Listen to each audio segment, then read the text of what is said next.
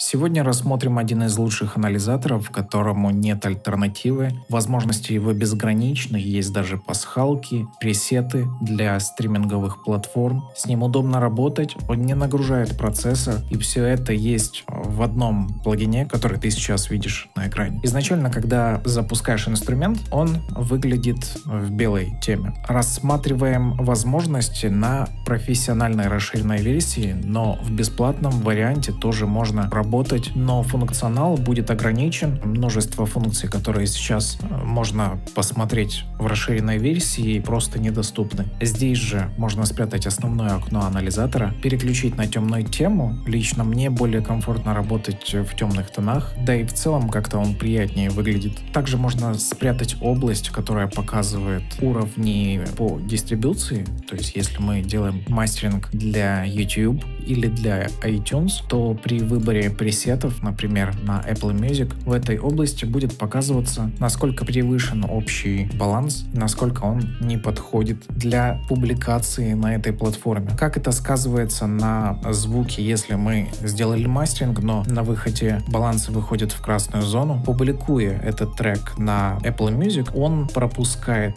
аудио своим, так скажем, движком, немножко поджимая, балансируя звук, и то, что было изначально зажато, оно будет еще сильнее сжато в кирпич. На фоне других треков это будет не совсем корректно. Вторая версия анализатора получила очень комфортный пользовательский интерфейс. Его можно растянуть. Как пример сделаем изображение с теми графиками, что есть сейчас на экране. Таким образом предоставляется анализ готового трека. Например, мы сделали мастеринг, клиент попросил предоставить информацию по тем уровням, которые получились на выходе. Если поставить цифровую площадку YouTube и посмотреть, насколько этот трек готов, чтобы его опубликовали на этой платформе, можем видеть, что уровень превышен. Как исправить уровень, если, например, выполняется мастеринг? Последним инструментом при мастеринге, который выравнивает общий баланс, является лимитер. Поскольку здесь я использовал готовый трек, он взят с общей библиотеки YouTube и без авторских прав, повлиять на то,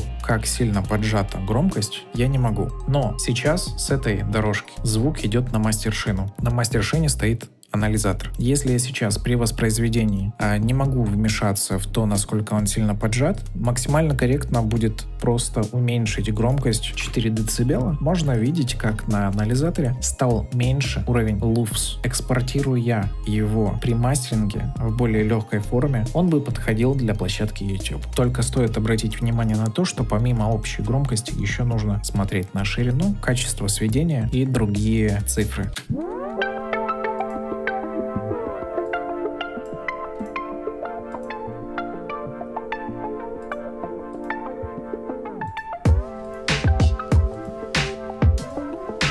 Существует также скрытая пасхалка, которую разработчики поместили внутрь этого замечательного анализатора. Нажимая на логотип, открывается игра «Старт».